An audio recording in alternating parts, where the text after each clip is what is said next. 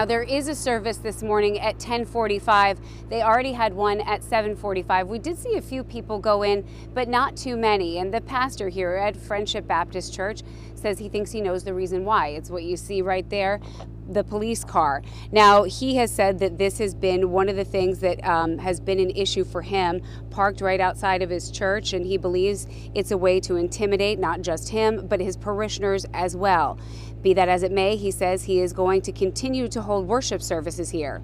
Now, Governor Larry Hogan did say last week that churches could operate at 50% capacity, but left that up to local communities. And the city says places of worship are still closed. However, the pastor here says that's not going to be the case.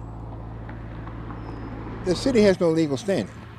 What are you going to do? Have officers come and take body cameras and record you, then go back and talk to the attorneys to see if they can do anything or not? That's nothing but intimidation.